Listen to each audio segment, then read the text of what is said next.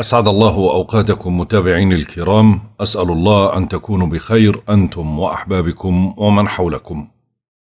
طبعا المقدمة هاي موجودة في كل الفيديوهات راح تكون موجودة في كل الأبراج راح أكون واضعها في كل الأبراج في كل بداية التوقعات.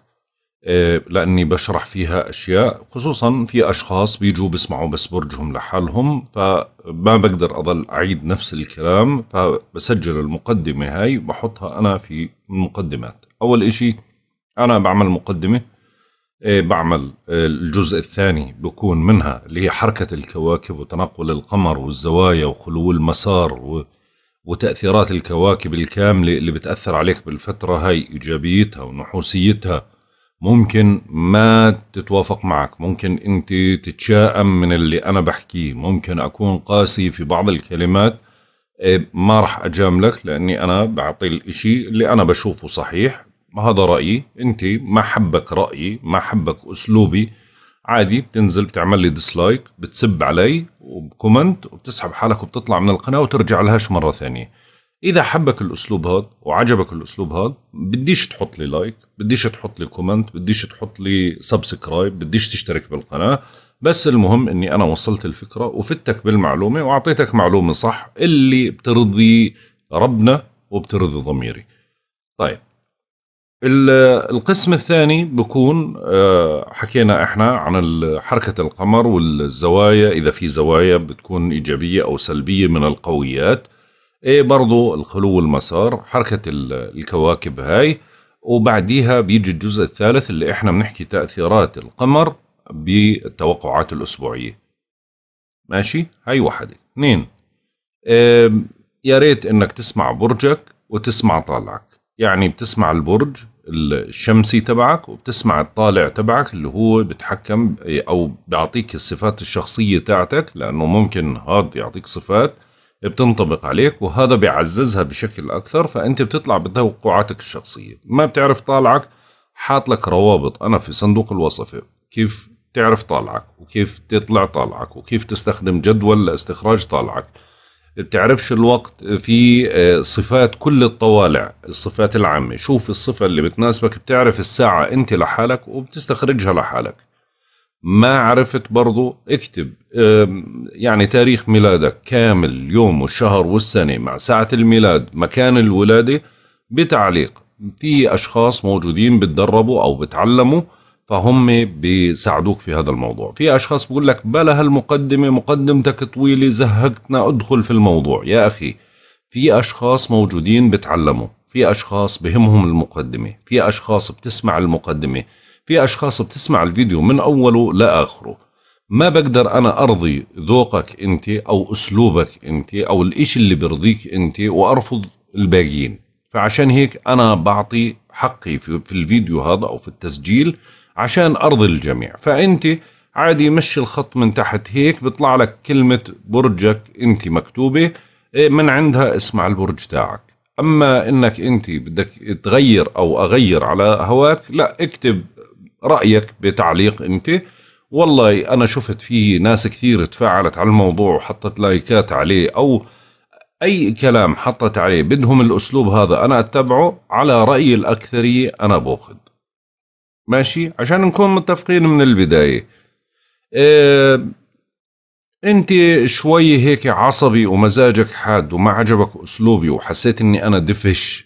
أو فض بالكلام أو آه، كثير كلام أو هاد عادي اكتب لي إياه في تعليق تحت وأنا بستقبل انتقادك بشكل مؤدب ولكن إذا فيها.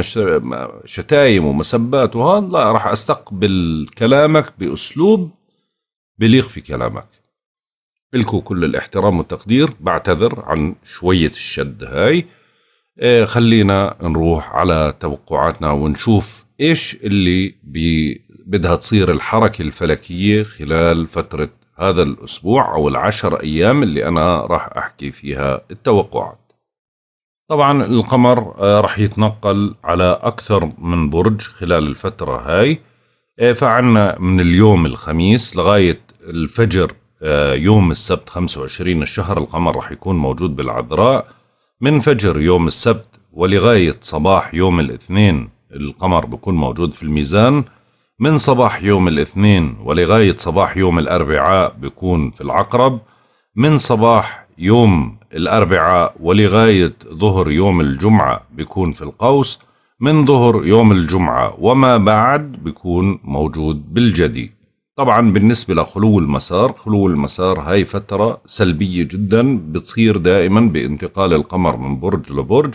يفضل فيها إنه أنت ما تقوم بأي شيء مهم أو ضروري أو شراء أشياء آه، مهمة بالنسبة لإلك أو عقد أو زواج أو توقيع لخطوبة أو زفاف أو أشياء مهمة. كلها لأنها هاي الفترة بيكون فترة خلو مسار هي فترة نحسة جدا بتأثر على هاي الأشياء دائما بنتائج سلبية بعد فترة. فبالنسبة لخلو المسار اللي راح يكون أو الفترات خلو المسار لكل انتقالات القمر بالفترة القادمة أول خلو مسار راح يكون يوم الجمعة اللي هو 24 الشهر راح يبدأ من الساعة 11 وسبع دقائق بتوقيت جرينتش وراح يستمر حتى تمام آه، فجر يوم السبت 25 آه، سبعة تمام الساعة آه، واحدة وثلاثة وخمسين دقيقة بتوقيت جرينتش يعني صباحا. أما بالنسبة للخلو المسار الثاني بيكون يوم الاثنين 27 الشهر بيبدأ من الساعة واحدة وثمان دقائق فجرا بتوقيت جرينتش وراح يستمر حتى صباح آه، يعني ساعات الصباح اللي هو الساعة أربعة وإحدى عشر دقيقة بتوقيت جرينتش أما بالنسبة لخلو المسار الثالث راح يكون يوم الأربعاء 29 الشهر بيبدأ من ساعات الصباح الساعة أربعة ودقيقة بتوقيت جرينتش وحتى ساعات صباح يعني برضو ساعة الصباح يعني المدة بسيطة جدا بالنسبة لخلو المسار اللي هي للساعة سبعة وأربعة وعشرين دقيقة بتوقيت جرينتش طبعا بالنسبة لخلو المسار الرابع شوي هذا بده شوية تركيز للحساب. من آخر ساعات يوم الخميس على الجمعة اللي هي عند منتصف الليل بيصير عندنا خلو المسار اللي هو الساعة 12 وسبع دقائق يعني أول دقائق من يوم الجمعة بعد منتصف الليل وراح يستمر طول يوم الجمعة لغاية الساعة 11 و 58 دقيقة ظهرا بتوقيت جرينتش خلينا نروح على حركة الكواكب ونشوف حركة الكواكب لكل برج إيش راح تأثر علينا بالفترة القادمة؟ أو راح تركز الاهتمامات على إيش؟ أو بعطيك طاقة في إيش؟ ايجابيا وسلبيا. برج العقرب. طبعا الشمس الآن دخلت على البيت العاشر وهذا بيت السمعة.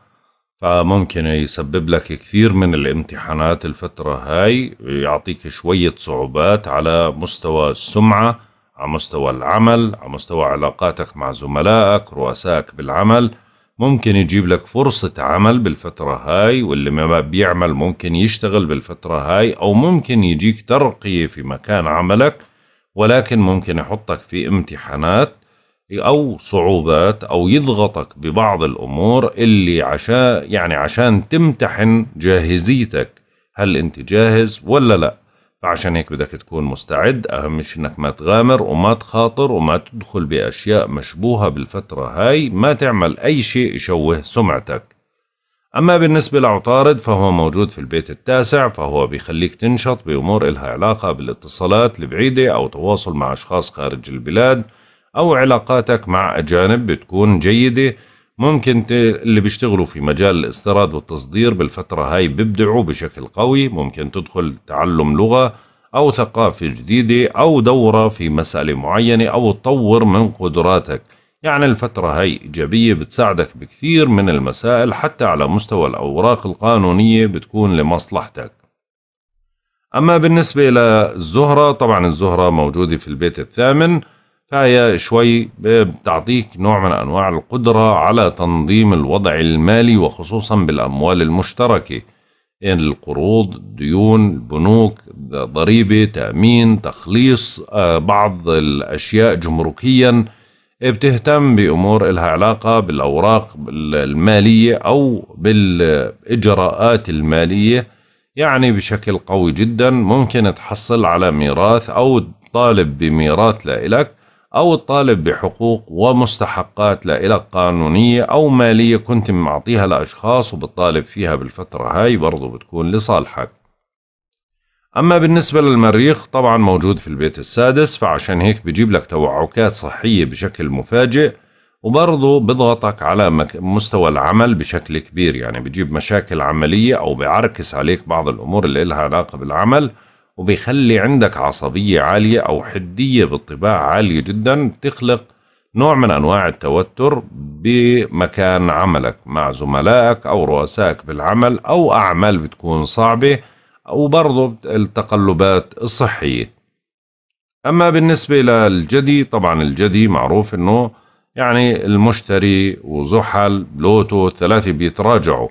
فعشان هيك بنقول لك أثناء قيادتك للسيارة على الطرق حاول إنك تكون منتبه وحذر وبرضو انتبه أثناء حركتك من الإصابات.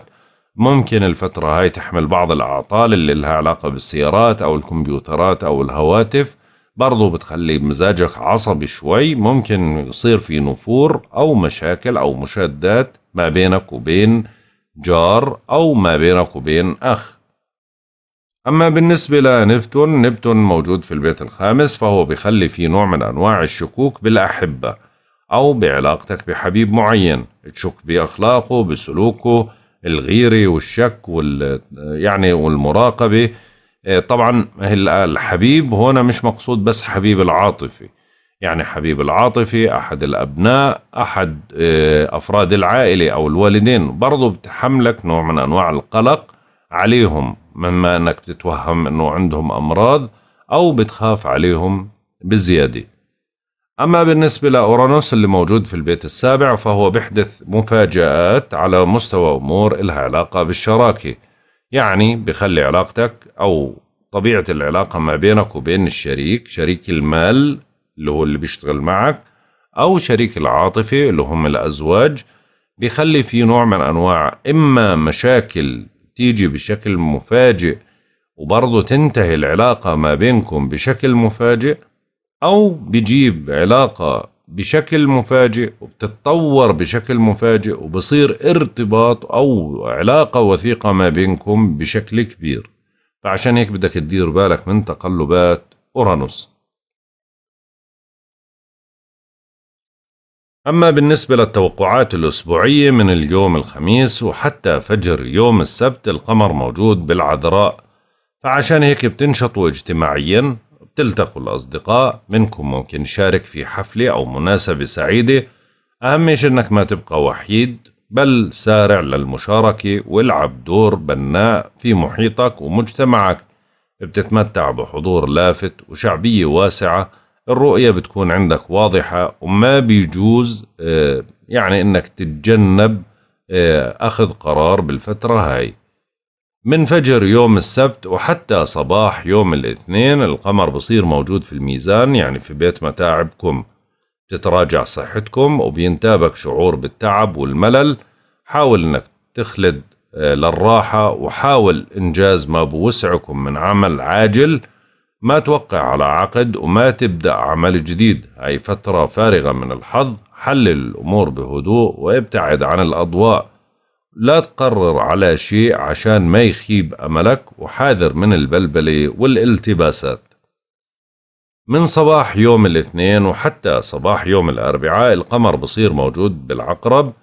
انتو نشطون وحيويون وبينجذب إلكم أفراد الجنس الآخر. بادروا لخطوة جديدة من شأنها أنها تدعم من مركزكم الاجتماعي بتدور الأحداث بسرعة كبيرة مع وجود القمر في برجكم.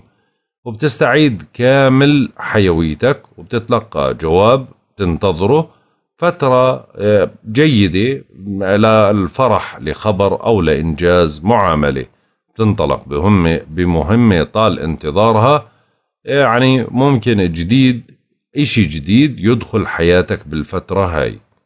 من صباح يوم الأربعاء وحتى ظهر يوم الجمعة القمر بصير موجود بالقوس بتصير الفترة هاي فيها فرصة لمكسب مالي من عمل إضافي. مع هيك بدكم تكونوا حذرين من النفقات. امتنعوا عن المشتريات الغير ضرورية. ممكن تهتم بتوظيف أموالك. حاول أنك تكون عاقل في صرف الأموال. بتهتم لمناقشة دعم مالي أو قرض. أو تفكر في بعض الاستثمارات والتوظيفات فترة إيجابية مع تحقق يعني ممكن تحقق من خلالها ربح ما. من ظهر يوم الجمعة بيكون القمر انتقل للجدي وما بعد الجمعة طبعا بتكثر لديكم الاتصالات والتنقلات فترة مناسبة لاجتياز امتحان أو إجراء مقابلة بتتمتع بسرعة بديهة وخاطر باستطاعتك مناقشة الأمور الصعبة وطرح أفكار جديدة ممكن تحصل أو تحصل على فرصة جيدة آه، أو فرصة جديدة. آه، مشاعرك آه، بتكون في الفترة هاي قوية وممكن تبرر موقف معين. بتنشط بالتنقلات والاتصالات. هيك بنكون انتهينا من توقعاتنا لهذا الأسبوع والله أعلم. يا رضا الله ورضا الوالدين سبحانك اللهم وبحمدك أشهد أن لا إله إلا أنت أستغفرك وأتوب إليك. أترككم في رعاية الله وحفظه. إلى اللقاء.